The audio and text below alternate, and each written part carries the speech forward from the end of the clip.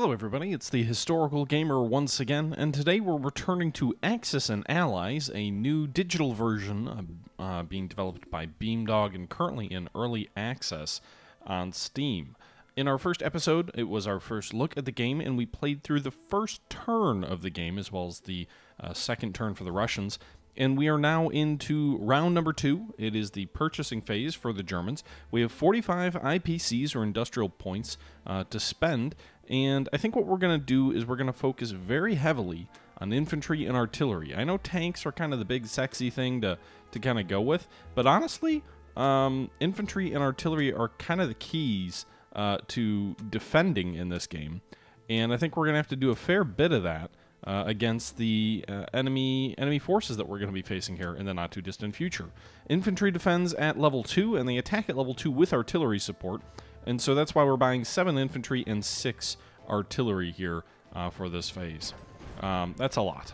Uh, meanwhile, we're going to move through to the next phase of the German uh, turn. And I think what we're going to do here is, looks like we've got three infantry units in Karelia. Um, I'm kind of unsure if we want to advance them further into northern Russia toward Archangel, uh, or if we want to maybe even advance them southward uh, toward western Russia with a larger offensive uh, there. That is an option. Another option is to turn against the Caucasus uh, and launch our own version of Stalingrad. Now, the uh, Soviets have six units of artillery and infantry there, so that's six at two. They've got one British infantry, two fighter units, and an anti aircraft gun there. Um, the most that we could bring to bear against them there would be five armored units, uh, which would attack at level three, and then we could bring down up to four air units, but that would leave Belorussia uh, extremely exposed to a Soviet counteroffensive. Uh, still, we could pour a fair amount of infantry. Uh, we could pour, pour all of our new units into Poland, uh, which would help us offset uh, that uh, risk. So I think what we're at, we are going to do is we are going to go the historical route, and we are going to go ahead and go after the Caucasus. We are going to launch our own version of the Battle of Stalingrad here. It's going to be a near-run thing because the enemy has a large force uh, already there, and we don't really plan to attack with too much.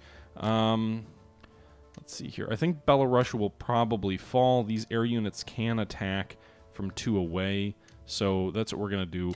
Also, air units on the offensive are better than air units on the defensive, and so as a result, uh, I'm going to really focus uh, the majority of my strength down here. Um, we'll keep the... We'll do one infantry unit just so we've got one cannon fodder unit. And then, let's see, so we've got five armored units, four fighters, one bomber, one infantry. That's a total of 11 units. They have a total of 6, 7, 8, 9, 10. So we have a slight advantage in terms of firepower and a slight advantage in terms of manpower. Meanwhile, we've got three units in Leningrad currently. The Soviets can bring up to three armored units forward um, toward, uh, sorry, Leningrad or toward Karelia. Um, we can move some reinforcements into Finland. So actually what I'm going to do is I'm going to move, well, I'm, I can not do that quite yet because we're not in the uh, operational move phase yet. Um, let's see here. Anything else? Can we attack with anything else for the Germans? Um, we, I think we attacked Egypt last turn. Let's go ahead and attack it again this turn, heavily. It is important for the British, so we'll go ahead and attack there. We'll leave these infantry units in Morocco and Algeria on the defensive to deal with the um, Americans. Meanwhile, we've got three submarines here. Oh. Alright, so it's out of range. So move these guys here to the uh, British Isles. Move three submarines here to try and destroy what's left of the Royal Navy. So three submarines are going to move off the coast of England. Is that all the rest of the Navy that we have in this region? It looks like it. These ships can't sail anywhere. At least not anywhere that they can attack. So we'll leave them there. And I think that's probably all of the German units that can attack. These guys can't quite make it there. We move this armored unit from Germany to Belorussia on the defensive. Might even make sense just to leave Belorussia open to the enemy and move all of our troops into Poland. Invite them in for an attack and then immediately counterattack. We'll see, because I'm not I'm not sure how they're going to respond to the attack in the Caucasus if it succeeds. So let's go ahead and do that. I guess we'll end this phase. We'll move right into the uh, combat phase. So this is going to be actual combat. Let's go ahead and uh, jump in here. Let's take a look at the naval combat off the coast of England first. We'll see how this plays out. So they've got one cruiser, one destroyer, one transport. That's one, two, one, three. We've got three twos. It's a pretty even uh, battle, I think. Ooh, nice. We got two hits on the enemy in our first roll. So that should actually sink their fleet, and they shouldn't have enough die rolls to knock us out. So they're going to counterattack with their destroyer, uh, which fails to do any damage. They'll counterattack with their cruiser, uh, which also fails to do any damage. And we just wiped out this British fleet off the British Isles without loss. So that's a very good result for us. A decisive victory there in Sea Zone 8. 27 British IPCs destroyed without loss for the Germans. Uh, meanwhile, the next battle is going to be in the Caucasus. This is our only other attack in this particular turn, and we'll see this is general combat. Our army is attacking in the Caucasus. They do have air defense uh, artillery, which gets to roll at a level 1 against our anti-aircraft first uh, as a pre-roll. And it looks like they get one roll per aircraft or something like that. Um, I think can our bomber take two hits like the battleships?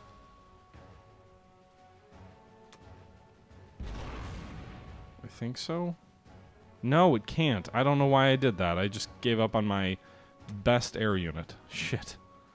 Well, I guess I don't know how the rules work. Alright, so our infantry attacks first. Does nothing. Now we've got nine threes or better. So there's one, two, three hits right away. Oh, wait, actually more than three. So you can see here we just knocked out all of their ground units and one of their air units. They've got an anti-aircraft non-combatant left and they've got one fighter unit left. So now they get to roll a bunch of twos. Whoa, they got four hits on that roll. Uh, so we'll take one on the uh, infantry, one on one of the fighters, and then maybe two tanks. I think. It's kind of how we'll break it out. So we did a lot of damage to them, but they did quite a lot of damage to us as well. Defender gets to roll their fours or better. They get one more hit here. We'll take that against our fighter, mainly because aircraft can't take ground. This is going to be a pretty difficult battle. They've only got one more unit left, so we're going to press the attack. We just need one hit. We got it, and spades. So their units are destroyed. They'll get one counterattack roll. Please miss. Nope, it hit. Lovely. Alright, well, we'll take one hit on the uh, armor. So two armor and two fighters survive. Bit of a Pyrrhic victory there. It is a victory nonetheless. We do take the Caucasus, but you can see there we lost 53 IPCs worth of units. The enemy lost 49, so that battle definitely favored them. Nonetheless, they lose four IPCs worth of income with the loss of the Caucasus. And uh, they're probably, I wonder if they're going to counterattack down here or where they're going to counterattack. Because there's a very vulnerable front line all across Russia for us. Uh, fortunately for us, the Soviets don't have a ton of offensive troops in the way. They have a lot of infantry that they raise. They raise nine infantry, but they only have two artillery units total, uh, which means that their infantry is going to be very poor on the uh, on the offensive. I don't think there's. Oh, we still have to fight the battle in Egypt, so we'll do that. Germany is attacking in Egypt. We'll see how this plays out. This is a pretty even fight. Uh, well, actually, no, it's not. They've got one defender at two. We've got two attackers at two and one at three. So we'll roll here, and just like that, we knock them out right away. We'll see if they're... God damn it, they roll a lot of fucking twos. So we'll take the hit on the artillery. The infantry can still defend the base at a two. So we'll do that and that's a victory for us. Um, but we lost slightly more economic value there than than we gained. So at the end of the day, Germany lost 57 IPCs worth of units. The British lost 43. The Soviets lost 36. Some of those British units were in Russia. So that's a total of 79 Allied IPCs to 57. Overall, a good result for the Germans. They took Egypt, they took the Caucasus, they took the region off the coast of England, Sea Zone 8. Um, but not exactly uh, quite the result we were hoping for. Uh, that all being said. Um, okay, so the way is open, I would say, in um, the Middle East. We're going to go ahead and move. Can't. What? What? I want to move this battleship. I guess I can't move it out of the Med. So we'll move it over here close to Gibraltar. We'll see if they bomb it. They might. Um, and then we're going to go ahead and take this armor here, which is in Germany. We're going to go ahead and move it to Belarusia on the defensive. We're going to go ahead and move three German infantry units into Poland. Actually, let's not do that. Close. We're going to leave Belarusia undefended for the time being. And we're going to move this armor unit to Ukraine, because I think we can hold the Ukraine if he does try and attack from Western Russia there. Meanwhile, this armor is going to move to Poland. This armor in France is also going to move to Poland. And then this German infantry will move to Poland as well. We'll move... I don't think they can land in, in, the, in uh, northern France yet, not with our submarines controlling the sea zone there. So I think we're relatively safe to move those troops in that direction. We'll move the troops in Finland to Karelia, so we have uh, an extra infantry unit there. We'll move two of the infantry units currently in uh, Karelia down to Belarusia, so they'll have at least something standing in their way um, low cost defend- defenders. So we'll leave two defenders in Karelia, two defenders in Belarusia, um, an armor and three infantry in Ukraine, two armor. We will probably actually want to land these fighter aircraft somewhere. So let's not risk our fighters. Let's pull these guys out of the Caucasus. We already got our Air Force pretty well crippled. We'll land them in Poland where we're going to bring in the bulk of our reserve reinforcements. We're also going to move this artillery unit forward from Bulgaria into the Ukraine so it can help on the defensive from any counterattack there. Um, so that's going to do it for the German turn. Move forward here. So go to the next phase, the mobilization phase. We need to go ahead and deploy our troops. So we've got seven infantry, six artillery, and they are all going to go to Poland.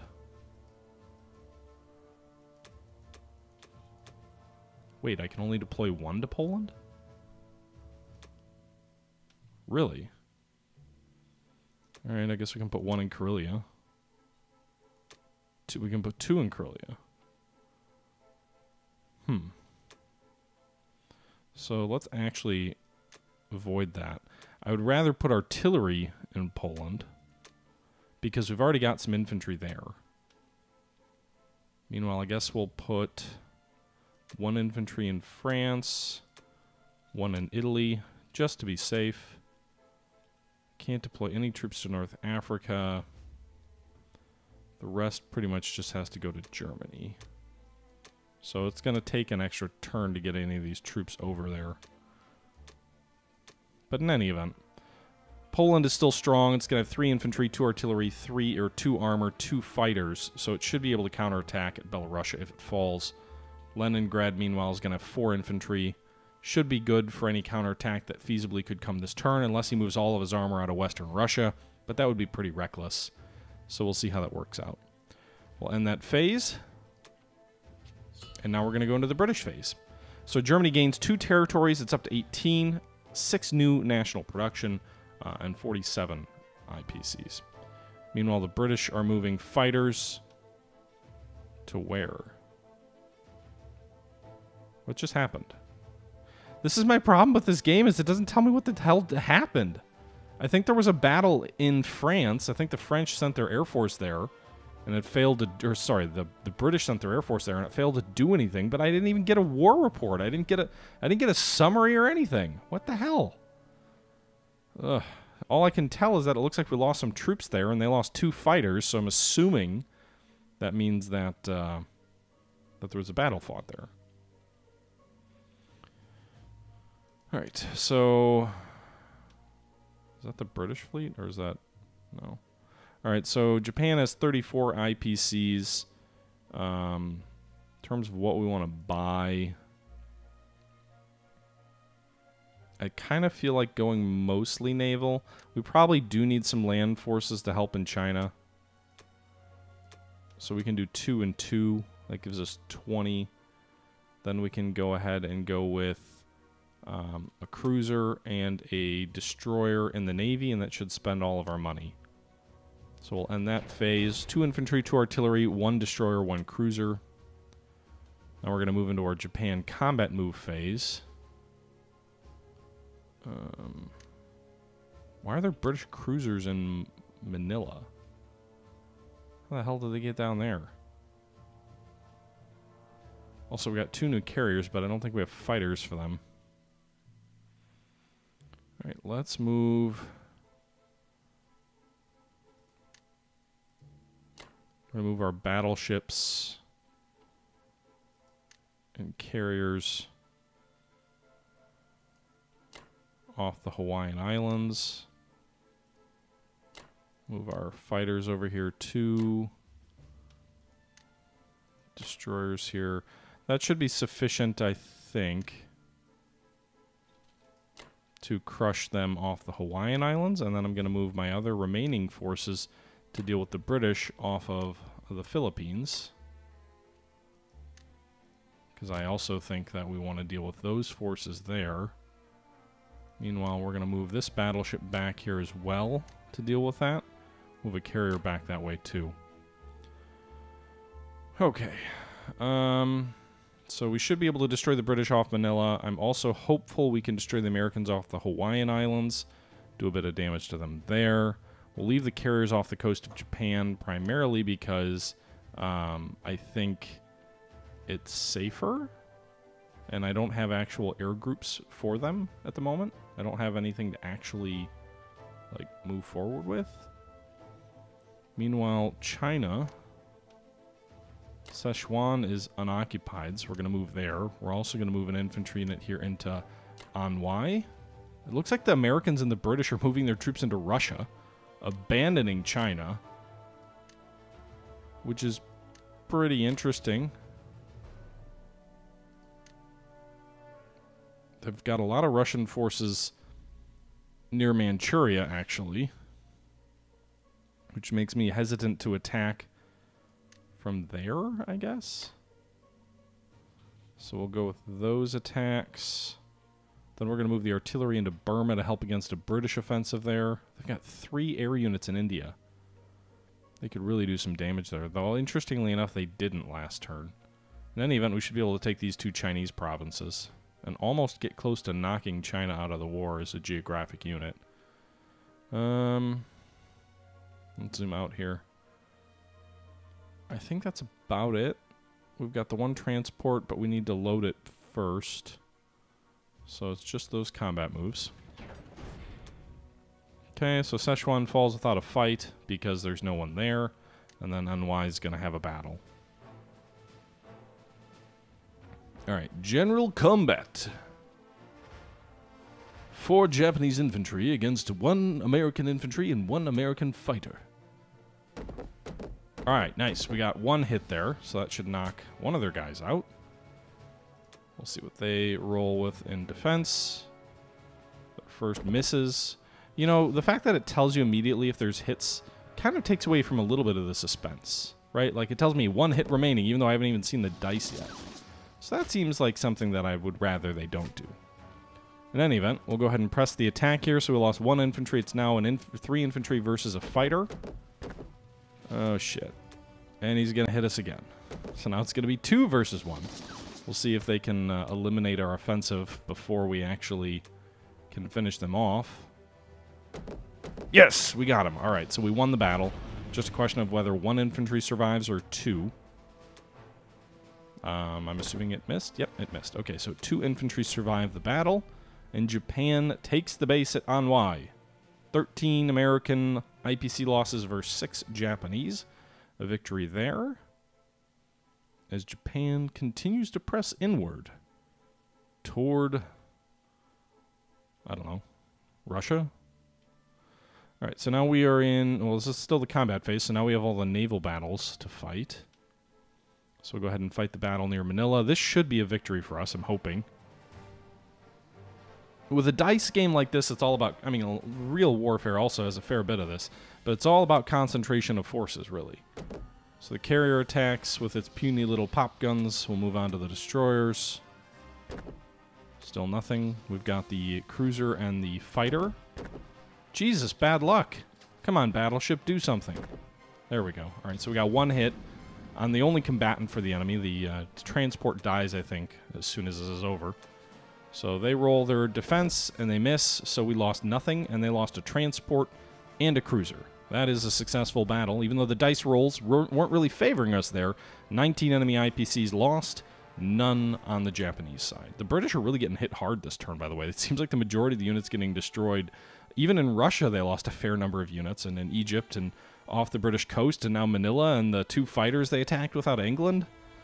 All right, so now the major naval battle off the Hawaiian Islands is going to occur. Oh, every time you got to see that Type 7 U-boat. All right, Sea Zone 53. This is one American transport, which is or British transport, which is a non-combatant. You've got one American sub, and you've got an American carrier and an American destroyer versus a Japanese battleship, a Japanese bomber, two Japanese fighters, a destroyer, and a carrier. So first dice roll is the carrier for the Japanese. It does nothing. Then we get to go with our destroyers. Another miss. Now we've got two fighters and we get one hit, so we'll talk, we'll knock out the submarine there. Then we've got two level fours, and we get two hits. Nice. Okay, so the Allied fleet will be destroyed. It's just a matter of how much they can counter against us. So their sub will roll, and it looks like it misses. It does. That was close, but it missed. And now their other ships will roll, and they all miss as well. So the enemy loses a carrier, a destroyer, a submarine, and a transport, all without Japanese losses.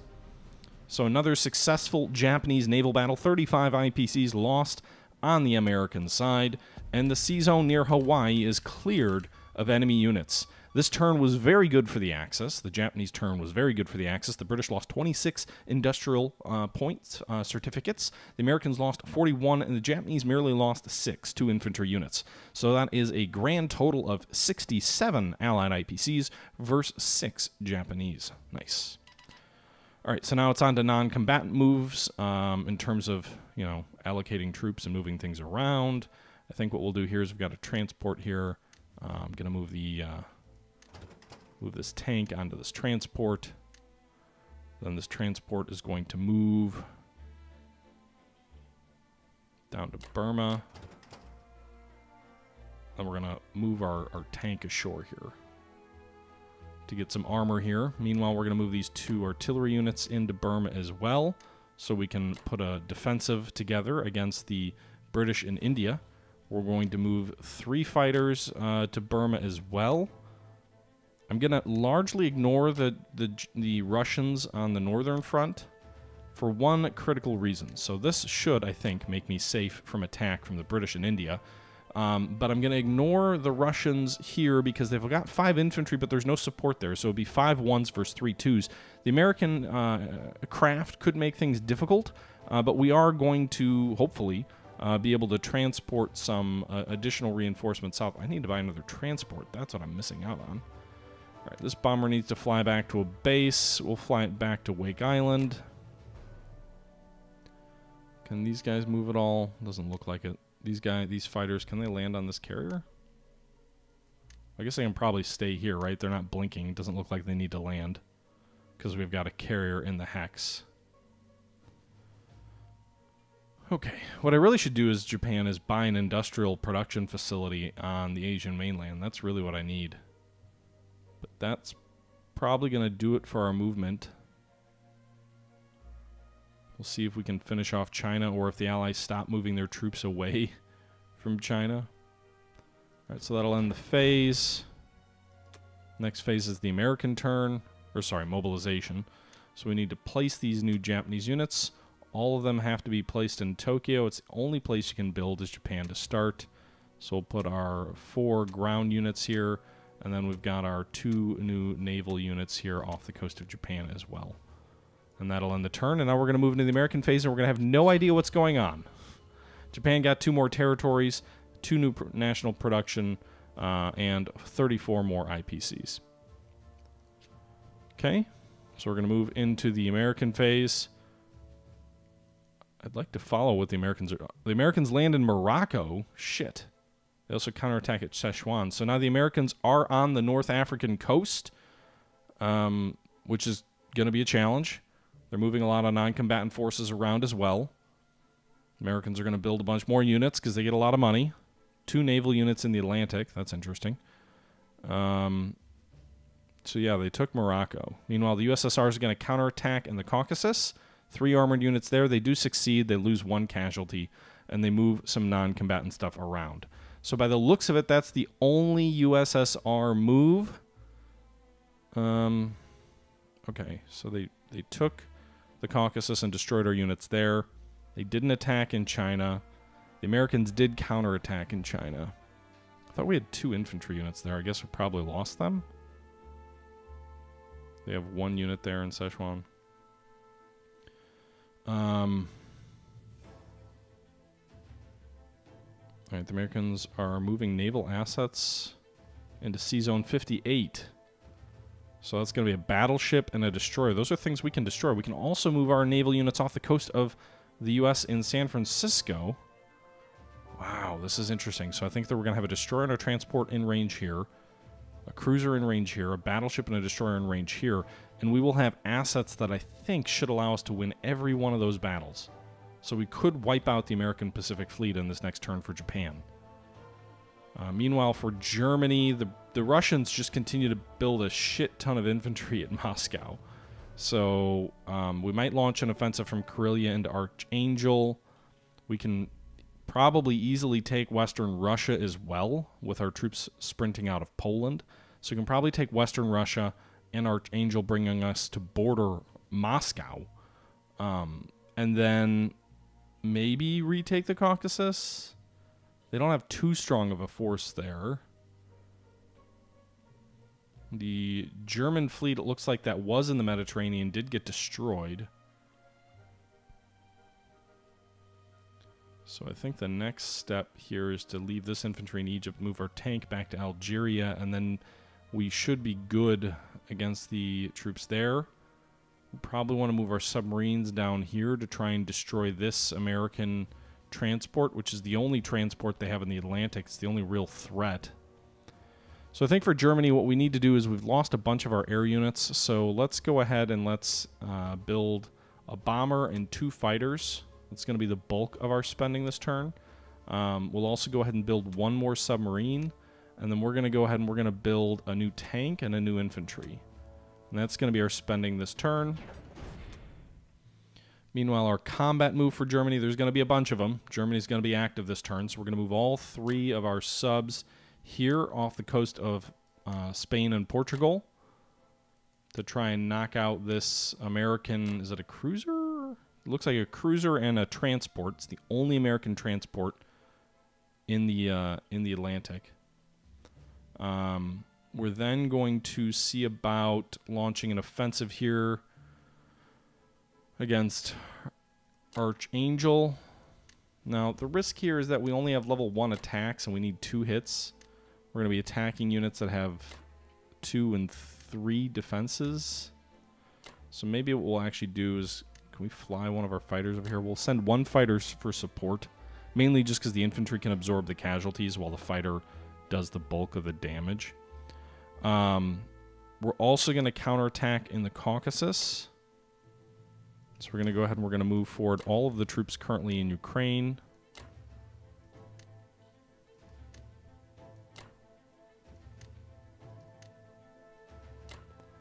So that's going to be three infantry and artillery. So that's going to be two units attacking at two, one unit attacking at three against two, three enemy units. So that's five versus three.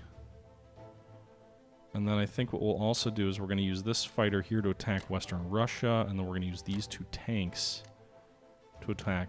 Well, actually, let's just do the one tank. So one fighter, one tank attacking here. This infantry will also move into Belarusia. I'm probably overextending myself, but I'm going to get to the gates of Moscow this turn. That's my that's my focus here. fully acknowledging that the enemy will almost certainly counterattack and drive us back. But I'm really hoping we can take Archangel, Western Russia, and the Caucasus. That'll be a serious blow, I'm hoping, to the Soviets there. There's no British naval forces, so there's no risk of a landing in France. We're destroying the only American unit in. Um, actually, no, you can't do that. There's a enemy artillery there in Transjordan. I need a transport for Germany. I didn't even think of that. I really do.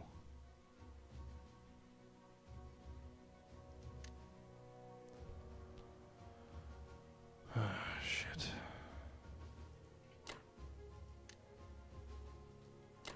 Alright. We're going to try and knock out that British artillery unit in Transjordan. I think that's everything that Germany can attack with. Looks like it. So we'll zoom in here. And we'll go ahead and end the phase. So we'll move into the combat phase. First things first, let's resolve the Transjordan battle. There's a little bit of risk here. I mean, obviously they get a good hit against us. They could they could do some damage. I don't I really can't afford to lose any casualties here. I'm just gambling. Ooh, that was close. Just gambling that they won't get any twos or lower. We at least killed them for sure. Do they get a counterattack and succeed at all? Yes, they do. Fuck. So they knock out one of our infantry units there. We do not have enough troops in the Middle East or Africa, especially now that the Americans have landed in North Africa. And we have no way of reinforcing either because we have no transports there. Nonetheless, it's a, a temporary victory, and we take Transjordan. Um, next battle I think we're going to fight here. Let's do the naval battle, actually. So let's go against the cruiser and transport with our three subs. The funny thing is, even if we take it, there's no real... Why is there no enemy? Surprise strike. Attacking submarines roll now. Three dice rolls. Nothing. Just great. So the cruiser counterattacks and misses, so we'll continue to press the attack. We can submerge and get out of the battle anytime we want, but we're attacking for a reason. So we'll go ahead and roll. Nothing again. Come on, guys. Alright, so we lose one of our three subs. We really only need one hit, though. Alright, so we lose one unit. We're going to go ahead and press the attack. I don't know if, like, a surprise attack means that, like... Oh, nice. So we got two, we got a hit. So the enemy ships are sunk. And do they get to counterattack because it's a surprise attack? No, they don't. Alright, so that's actually a good result. Enemy loses much more. Cruiser is much more valuable than a sub, so they lose any of their sea lift capabilities there. And now onto the Russian front. Onto the Russian front. Alright, let's go attack at Archangel first. We'll see what happens here. Definitely overextending ourselves. Fully recognize that. Four infantry attack and they do nothing. How about our fighter? Do something. Nothing! Great. So we lose a hit there. We'll take it to the infantry. Probably lose two here, actually. Yeah, we will. Great. Alright, we'll continue the attack. Two infantry units get to attack. They do nothing. Give me a three or less. There we go. Alright, so we knocked out one of their ground units. Defender first roll, nothing. Defender second roll does get a hit, so we'll take the hit to the infantry. God, fighters on defense are so deadly. Two to one now. Really need to hit him. Fuck! Alright, at least he missed there. So attack again.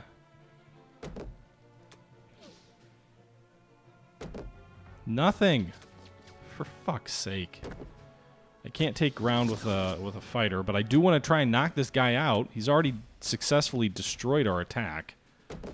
And we can't hit him. This is bullshit. The one American unit that survives and wipes out our attack on Archangel. Great. Ugh. Our first defeat. 22 to 4. That was a disaster. Let's hope that's not uh, for I hope that's not um, indicative of what we're going to see in our other attacks here. All right, two infantries versus... I mean, well, they've got two also. All right, so we got one hit in the first round. He hits nothing. So that's a good start. All right, so we win that battle. I'm just I just kind of zoomed through that. So at least we successfully attack Western Russia, that is now German. And then that'll actually shield the Caucasus from a direct counterattack, I think, as well. So if we win this battle, then they won't be able to get it right back. So we get the infantry rolling first. They do nothing. We get the infantry supported with artillery rolling, and they get one hit. So the enemy infantry there. And now we've got two armored units versus two enemy armored units. We, of course, hit them with nothing. At least their infantry doesn't help, and then they get one hit on our infantry with their tanks.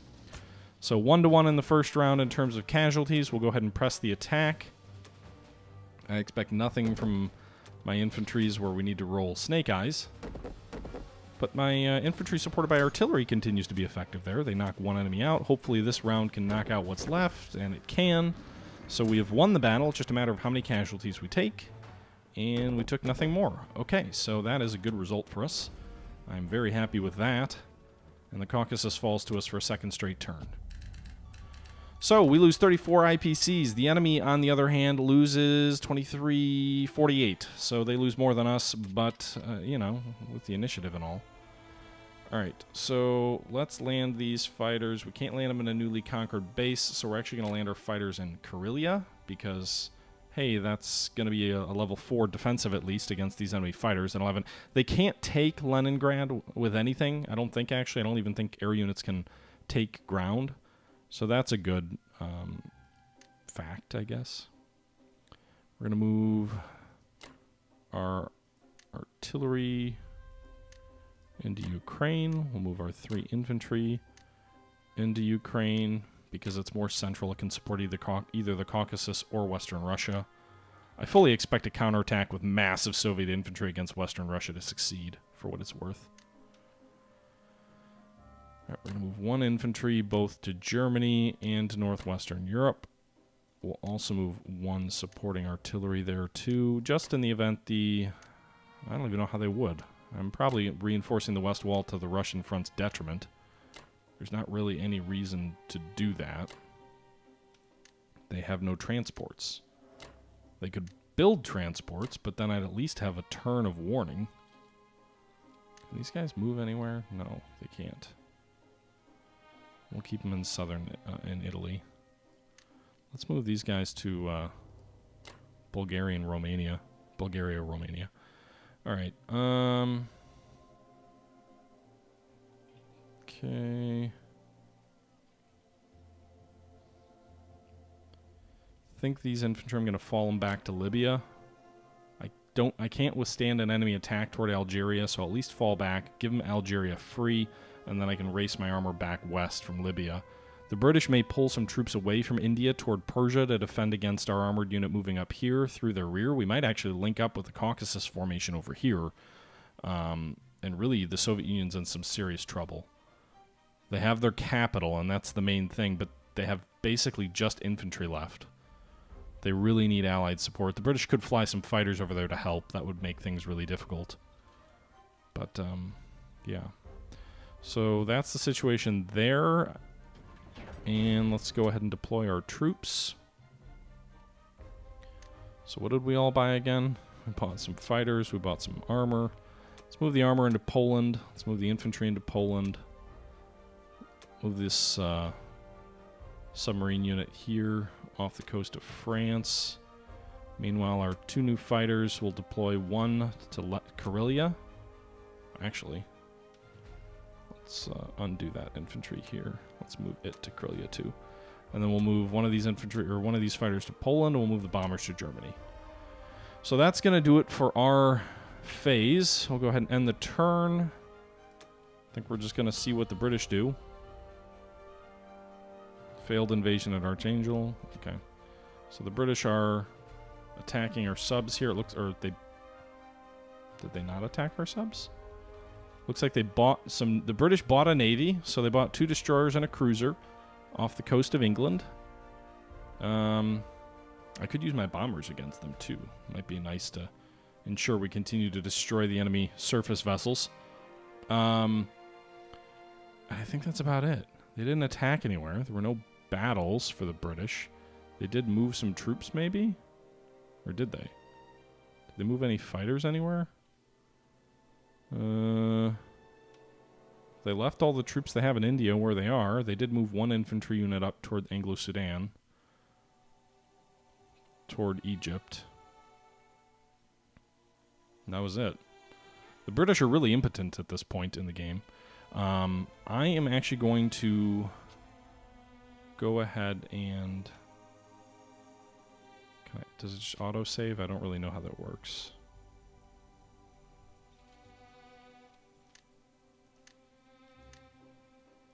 Okay. So I'm going to trust that it's going to save after each country goes. I'm not 100% sure about that, but I think it's yes, it does because the Russians went last time. We've been going for about 40 minutes, guys. Let me know if you're enjoying this. This is Classic Axis and Allies 1942 on Steam, currently in early access by Beamdog. This was our second episode on the game.